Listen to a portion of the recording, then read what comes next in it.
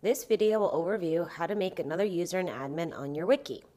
As a quick review, admins are users who have advanced rights in order to help maintain and grow the wiki.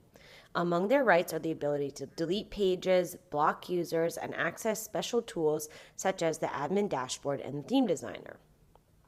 Bureaucrat is another advanced right. Users who are bureaucrats can do all the same things as admins, but with one extra special right. They have the ability of making other users admins.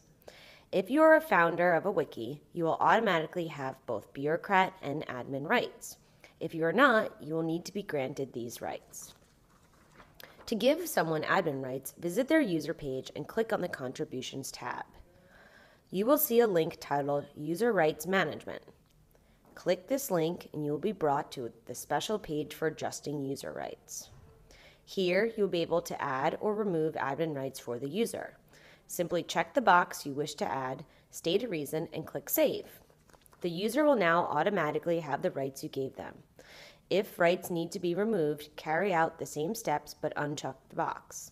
All changes to user rights are listed at the bottom in the user rights log. A couple of things to remember when you are changing a user's rights.